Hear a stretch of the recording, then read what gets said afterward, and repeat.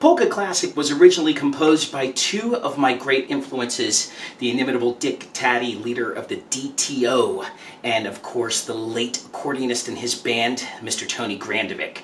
I had the great opportunity to record this challenging little tune with some unique phrasing and finger busting skills. Hope you enjoy Polka Classic.